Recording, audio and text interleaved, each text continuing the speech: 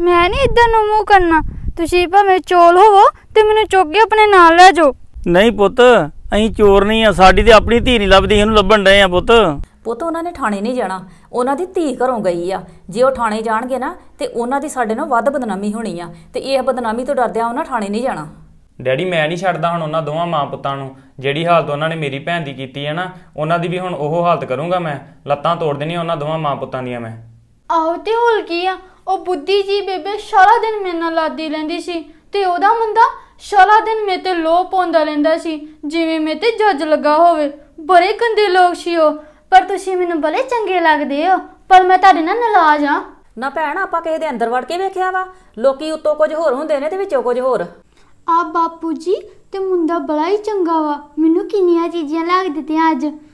ਪਰ ਮੇਰਾ ਬਾਪ ਕਿੱਥੇ ਗਿਆ ਵਾ? ਉਹ ਮੈਨੂੰ ਦੂਰ ਜੀ ਛੱਡ ਕੇ ਬਾਅਦ ਚੋਂ ਆਇਆ ਹੀ ਨਹੀਂ। ਮੈਨੂੰ ਕਹਿੰਦਾ ਸੀ, ਮੈਂ ਚੀਜ਼ੀ ਲਾ ਕੇ ਦੂੰਗਾ ਬਾਅਦ ਚੋਂ ਝੂਠੇ ਜੀ ਨੇ ਮੈਨੂੰ ਕੁਝ ਨਹੀਂ ਲੈ ਕੇ ਦਿੱਤਾ। ਮੇਰਾ ਬੱਬ ਕਿੱਥੇ ਚਲ ਗਿਆ ਵਾ? ਬਾਬਾ ਆ ਜਾ।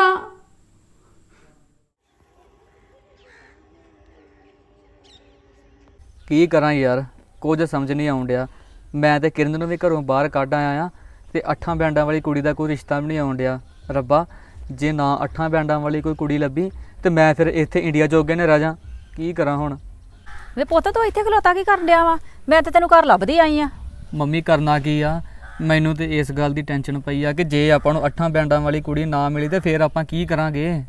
ਕੋਈ ਗੱਲ ਨਹੀਂ ਪੁੱਤ ਆਪੇ ਮਿਲ ਜੂਗੀ ਕੁੜੀ। ਤੂੰ ਦਿਮਾਗ ਤੇ ਬੋਝ ਨਾ ਪਾ। ਉਹ ਚਲੋ ਮੰਮੀ ਮੈਂ ਦਿਮਾਗ ਤੇ ਬੋਝ ਤੇ ਨਹੀਂ ਪਾਉਂਦਾ ਪਰ ਤੁਸੀਂ ਇਦਾਂ ਕਰੋ ਪਹਿਲਾਂ ਮੇਰਾ ਰਿਸ਼ਤਾ ਮਾਸੀ ਨੇ ਕਰਾਇਆ ਸੀ ਨਾ ਉਹਨੇ ਤੇ ਚੰਨ ਚਾੜਤਾ ਸੀ ਹੁਣ ਤੁਸੀਂ ਇਦਾਂ ਕਰੋ ਮਾਮੀ ਨਾਲ ਗੱਲ ਕਰੋ ਤੇ ਮਾਮੀ ਨੂੰ ਕਹੋ ਕਿ ਨਵ ਨੂੰ ਕੋਈ ਅੱਠਾਂ ਬੈਂਡਾਂ ਵਾਲੀ ਕੁੜੀ ਦਾ ਰਿਸ਼ਤਾ ਕਰਾ। ਚਲ ਠੀਕ ਆ ਪੁੱਤ ਤੂੰ ਮੈਨੂੰ ਫੋਨ ਲਾ ਕੇ ਦੇ ਮੈਂ ਹੁਣੇ ਗੱਲ ਕਰਦੀ ਆ। ਲਓ ਨਾ ਇੱਕ ਮਿੰਟ।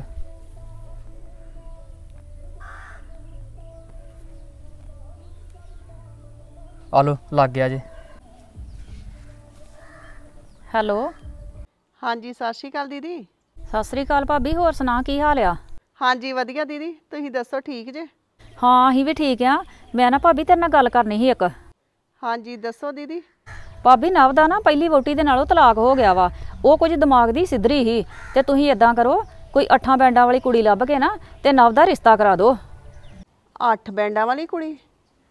ਦੀਦੀ, ਮੇਰੀ ਨਿਗਾਹ 'ਚ ਤੇ ਹੈ ਨਹੀਂ ਆ। ਪਰ ਇੱਕ ਹੈਗੀ ਹੀ ਉਹਦੀ ਤੇ ਮੰਗਣੀ ਹੋ ਗਈ ਆ। ਤੇ ਪਰ ਦੀਦੀ, ਅੱਠ ਬੈਂਡਾਂ ਵਾਲੀ ਕੁੜੀ ਤਲਾਕਸ਼ੁਦਾ ਨਾਲ ਵਿਆਹ ਥੋੜੀ ਕਰਵਾਊਗੀ। ਨਾ ਭਾਬੀ ਤੁਸੀਂ ਕਿੱਦਾਂ ਦੀਆਂ ਗੱਲਾਂ ਕਰਦੇ ਜੇ?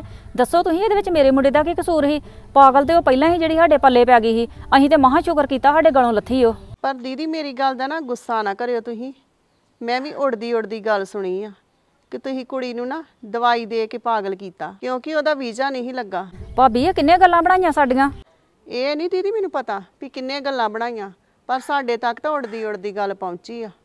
ਚੰਗਾ ਭਾਬੀ ਮੈਂ ਫੋਨ ਰੱਖਦੀ ਆ। ਚੰਗਾ। ਹੁਣ ਵੇ ਕਿੱਡੀ ਛੇਤੀ ਫੋਨ ਕੱਟਿਆ। ਹਾਏ ਮੈਂ ਮਰ ਜਾ। ਗੱਲ ਕਿੱਥੋਂ ਤੱਕ ਪਹੁੰਚ ਗਈ ਆ? ਕਿਉਂ ਮੰਮੀ ਕੀ ਹੋਇਆ?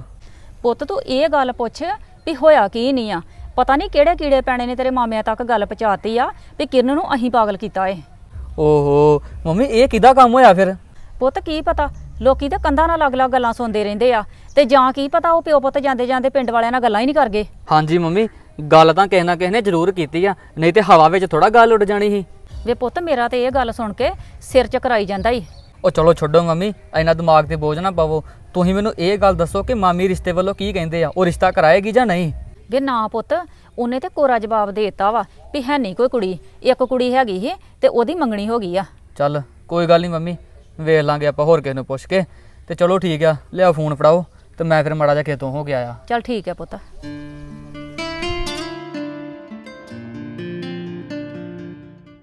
ਪੀ ਪੀ ਪੀ ਪੀ ਮੇਰੀ ਗੱਦੀ ਆ ਗਈ। ਪਿੱਛੇ ਹੋ ਜਾਓ ਸਾਰੇ ਜਣੇ। ਪੀ ਪੀ ਪੀ ਪੀ। ਓ ਵੇ ਭੈਣ ਕਿੱਥੇ ਧੁੱਪੇ ਖੇਡਣ ਡਈ ਆ? ਭੈਣ ਆ ਜਾ ਅੰਦਰ ਆ ਜਾ ਇੱਥੇ ਧੁੱਪ ਬੜੀ ਆ। ਨਹੀਂ ਮੁੰਡਿਆ ਮੈਂ ਨਹੀਂ ਅੰਦਰ ਲਾਉਣਾ ਤੂੰ ਵੀ ਇੱਥੇ ਆ ਜਾ ਆਪਾਂ ਇਕੱਠੇ ਖੇਡਦੇ ਆਂ। ਪੁੱਤ ਕੀ ਗੱਲ ਹੈ ਬੜਾ ਰੌਲਾ ਪਾਇਆ ਤੂੰ। ਉਹ ਡੈਡੀ ਉਹ ਵੇਖੋ ਦੀਦੀ ਵਿਚਾਰੀ ਧੁੱਪੇ ਹੀ ਖੇਡੀ ਜਾਣ ਡਈ ਆ। ਉਹ ਧੀਏ ਕੀ ਕਰਨੀ ਆ? ਧੁੱਪੇ ਅੰਦਰ ਆ ਜਾ ਤੂੰ। ਡੈਡੀ ਮੈਂ ਤੇ ਉਹਨਾਂ ਨੂੰ ਬੜਾ ਸਮਝਾਇਆ ਪਰ ਮੇਰੀ ਸੁਣਦੇ ਹੀ ਨਹੀਂ ਆ। ਕਿਰਨ ਪੁੱਤ ਚੀਜੀ ਖਾਣੀ ਆ? ਚੀਜੀ? ਪਾਪਾ ਤੁਸੀਂ ਮੈਨੂੰ ਸੱਚੀ ਚੀਜ਼ ਲਾ ਕੇ ਦੋਗੇ? ਹਾਂ ਪੁੱਤ ਆ ਜਾ ਕਮਰੇ 'ਚ ਆ ਜਾ। ਠੀਕ ਹੈ ਮੈਂ ਹੁਣੇ ਆਉਣੀ ਆ। ਮੈਂ ਆਪਣੀ ਗੱਡੀ ਨਾ ਸ਼ਾਇਦ ਤੇ ਲਾ ਕੇ। ਲੈ ਪੁੱਤ ਚਾਕਲੇਟ ਖਾ ਲਾ। ਲਾਓ ਪਾਪਾ। ਵੇਖੋ ਡੈਡੀ ਭੈਣ ਕਿਦਾਂ ਬੱਚਿਆਂ ਵਾਂਗ ਚਾਕਲੇਟ ਖਾਣ ਡਈ ਆ ਕਿਦਾਂ ਨਿਆਣਿਆਂ ਵਾਂਗ ਮੂੰਹ ਲਬੇੜਿਆ ਸਾਰਾ। ਇਹਨੂੰ ਤੇ ਵਿਚਾਰੀ ਨੂੰ ਆਪਣੀ ਸੁੱਧ ਬੁੱਧ ਨਹੀਂ ਪੁੱਤ ਆਪਾਂ ਕੀ ਕਰ ਸਕਦੇ ਆ? ਡੈਡੀ ਮੈਨੂੰ ਬਹੁਤ ਗੁੱਸਾ ਆਉਂਦਿਆ ਉਹਨਾਂ ਬੇਦਰਦ ਲੋਕਾਂ ਤੇ। ਵੇਖੋ ਉਹਨਾਂ ਨੇ ਮੇਰੀ ਵਿਚਾਰੀ ਭੈਣ ਦੀ ਕੀ ਹਾਲਤ ਬਣਾਤੀ ਆ ਰੱਬ ਕਰਕੇ ਉਹਨਾਂ ਨੂੰ ਕਿਤੇ ਢੋਈ ਨਾ ਮਿਲੇ। ਕੋਈ ਨਹੀਂ ਪੁੱਤ ਰੱਬ ਸਭ ਵੇਖਣ ਡਿਆ। ਉਹਨਾਂ ਨੇ ਮੇਰੀ ਧੀ ਦੀ ਇਹ ਹਾਲਤ ਕੀਤੀ ਹੈ ਨਾ ਤੇ ਪ੍ਰਮਾਤਮਾ ਉਹਨਾਂ ਦੀ ਇਤੋਂ ਹੀ ਮਾੜੀ ਕਰੇਗਾ ਹਾਲਤ। ਮੇਰੀ ਸਾਰੀ ਚੋਕੋ ਖਤਮ ਹੋ ਗਈ ਆ। ਮੁੰਡਿਆ ਮੇਰੀ ਸਾਰੀ ਚੋਕੋ ਖਤਮ ਹੋ ਗਈ ਆ। ਤੂੰ ਮੈਨੂੰ ਦੁਕਾਨ ਤੋਂ ਜਾ ਕੇ ਠੰਡਾ ਲਾ ਦੇਗਾ? ਮੇਰਾ ਠੰਡਾ ਪੀਣ ਨੂੰ ਬੜਾ ਜੀ ਕੰਡਿਆ ਵਾ। ਮੇਰੀ ਭੈਣ ਤੋਂ ਇੱਥੇ ਬਹਿ ਅੰਦਰ ਹੈ। ਬਾਹਰ ਨਾ ਜਾਈ ਬਾਹਰ ਧੁੱਪ ਬੜੀ ਆ। ਤੇ ਮੈਂ ਹੁਣੇ ਦੁਕਾਨ ਤੋਂ ਜਾ ਕੇ ਤੈਨੂੰ ਠੰਡਾ ਲਿਆ ਕੇ ਦਿੰਨਾ ਆ। ਠੀਕ ਆ।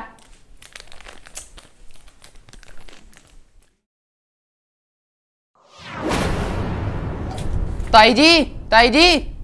ਵੇ ਹਾਂ ਮੈਂ ਕਿ ਕੀ ਹੋ ਗਿਆ? ਤੂੰ ਬੜਾ ਰੌਲਾ ਪਾਇਆ ਵਾ। ਤਾਈ ਜੀ ਨਾਵੀਰ ਦਾ ਐਕਸੀਡੈਂਟ ਹੋ ਗਿਆ। ਮੈਨੂੰ ਲੰਬੜਾਂ ਦੇ ਮੁੰਡੇ ਦਾ ਫੋਨ ਆਇਆ ਸੀ ਕਿ ਨਾਵੀਰ ਮੋੜ ਤੇ ਡਿੱਗਾ ਪਿਆ ਹੈ ਹਾਏ ਮੈਂ ਮਰ ਜਾ ਵੇ ਮੈਂ ਕੀ ਕੀ ਕਹਿਣ ਡਿਆ ਤੂੰ? ਚੱਲ ਮੈਨੂੰ ਛੇਤੀ ਲੈ ਕੇ ਚੱਲ ਉੱਥੇ। ਨਹੀਂ ਭੈਣ ਕੀ ਹੋ ਗਿਆ? ਕਾਹਦਾ ਰੋਲਾ ਪਾਇਆ ਤੁਸੀਂ? ਹਾਏ ਹਾਏ ਭੈਣ ਕੀ ਦੱਸਾਂ? ਮੈਂ ਕਹਿੰਦਾ ਨਾ ਉਹਦਾ ਐਕਸੀਡੈਂਟ ਹੋ ਗਿਆ ਵਾ। ਐਕਸੀਡੈਂਟ? ਹਾਂਜੀ ਮੰਮੀ ਜੀ ਨਾਵੀਰ ਡਿੱਗਿਆ ਪਿਆ ਮੋੜ ਤੇ। ਸਭ ਕਰਨੀਆਂ ਭਰਨੀਆਂ ਇੱਥੇ ਹੀ ਆ। ਬਗਾਨੀ ਧੀ ਨੂੰ ਘਰੋਂ ਪਾਗਲ ਕਰਕੇ ਕੱਢਤਾ ਸੀ ਨਾ ਪਰਮਾਤਮਾ ਦੀ ਜਦੋਂ ਮਾਰ ਪੈਂਦੀ ਹੈ ਨਾ ਬੰਦੇ ਨੂੰ ਬੋਲਣ ਜੋਗਾ ਨਹੀਂ ਛੱਡਦੀ। ਵੇ ਚੱਲ ਮੈਂ ਕਿਹਾ ਛੇਤੀ ਚੱਲੀਏ। ਚਲੋ ਤਾਈ ਜੀ। ਕਿਸੇ ਨੇ ਸੱਚ ਹੀ ਕਿਹਾ ਆ ਇੱਕ ਹੱਥ ਕਰ ਲਾ ਤੇ ਦੂਜੇ ਹੱਥ ਭਰ ਲਾ ਹੂੰ?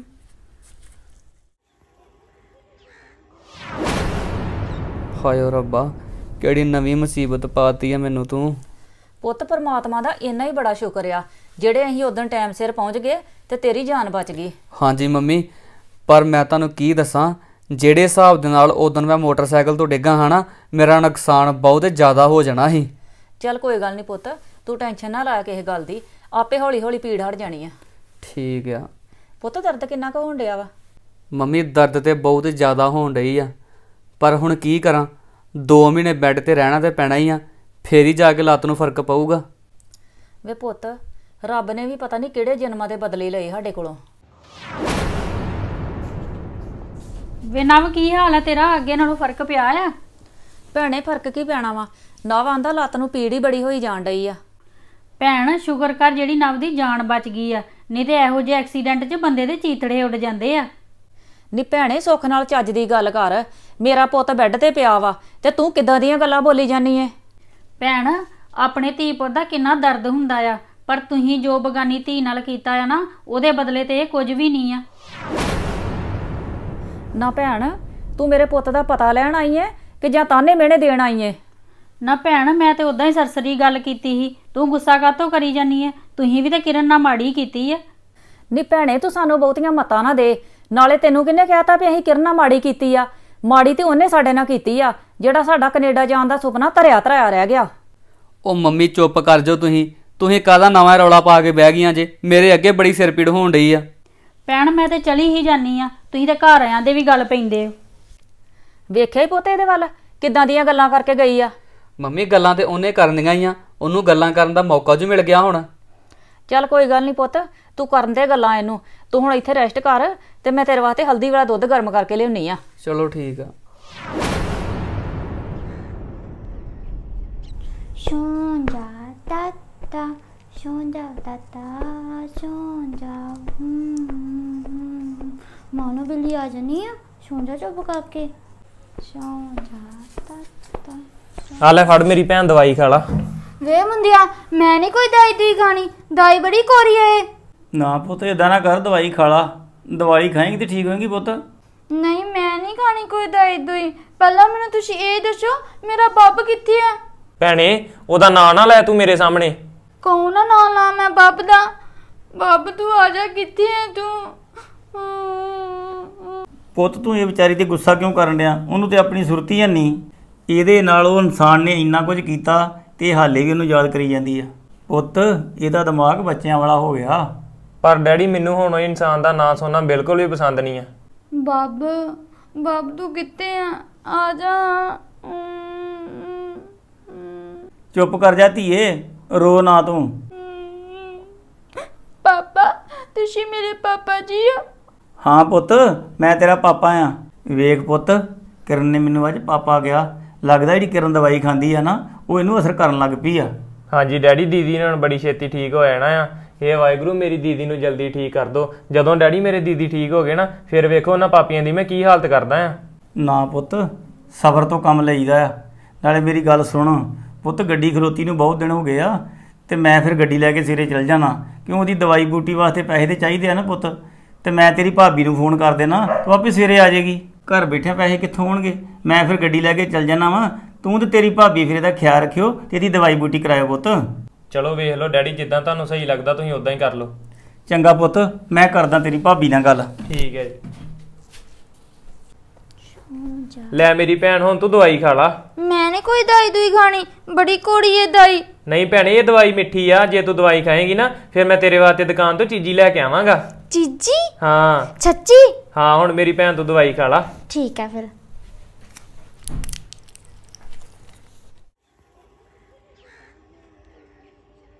ਯਾਰ ਹਫਤਾ ਹੋ ਗਿਆ ਨਾ ਉਹਨੇ ਪੈਸੇ ਖੜੇ ਨੂੰ ਹਧਾਰੇ ਤੇ ਅਜੇ ਤੱਕ ਵਾਪਸ ਨਹੀਂ ਕੀਤੇ। ਉਹਨੂੰ ਫੋਨ ਲਾ ਕੇ ਪੁੱਛਾਂ ਕੀ ਕਹਿੰਦਾ ਭਲਾ।